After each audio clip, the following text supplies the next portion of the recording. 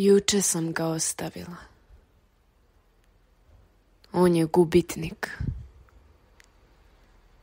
Ne voli me. Ne vidi me. Ne čuje me. A ja sam ga volela. Sada ga prezirem. A on se i dalje kocka. Ko je on?